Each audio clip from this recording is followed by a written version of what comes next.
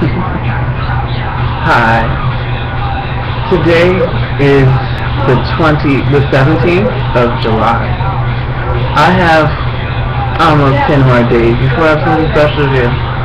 But again, this is not about that. This is way more important.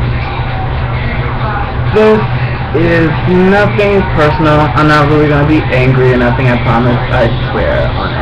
I know people won't even believe it, but okay, that's great. Personally,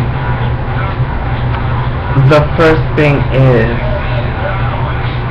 that, um, basically I just feel relieved to find some truth in my life.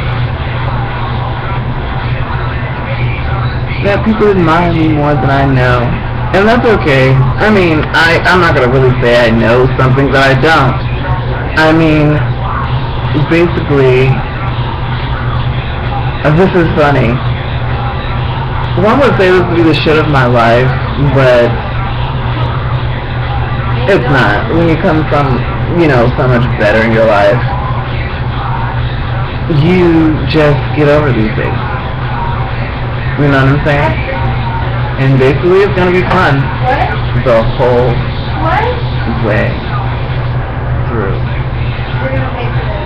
No, we're gonna pay for this. I hope y'all have fun. I hope y'all watch my video. I'm mad people can't tell the truth about themselves.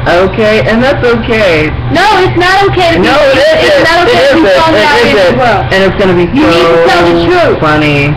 Tell, it would set you free to tell the truth. Please, to tell the fucking truth. Mhm. It's just just Miss let it Mac cleanse TV, y'all have a good night.